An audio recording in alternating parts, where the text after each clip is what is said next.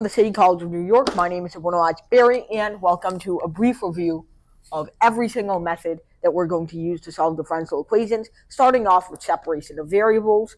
So, what is that? Well, if we have a very basic differential equation, let's say we have y prime times y is equal to x.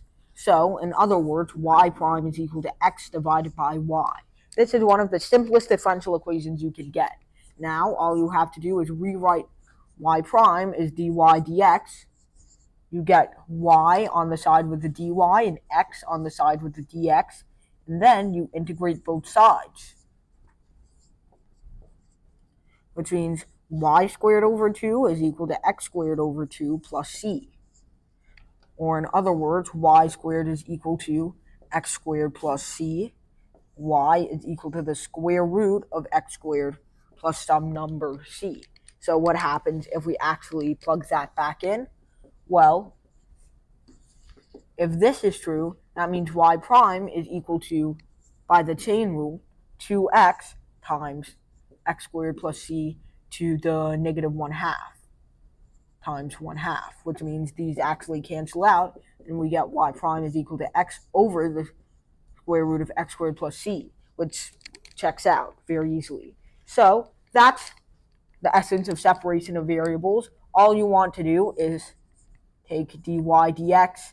You've got some function of y, and then you've got some function of x. All you want to do is get py dy is equal to qx dx, and then integrate on both sides. Now, obviously, why doesn't this always work? Well, sometimes we have multiple terms. So what's a problematic thing?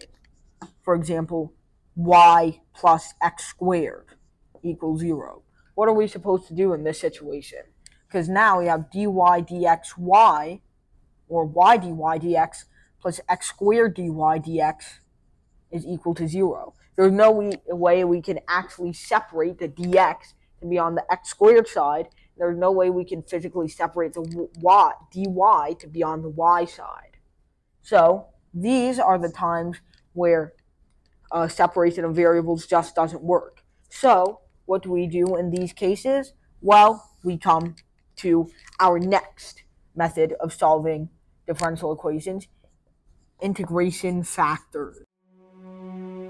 What do you see? Sand. Imagine if we could look so closely, we could see each grain, each particle. You see, there are patterns in everything. Integrals, infinite series. I've never seen anything like them. From an Indian.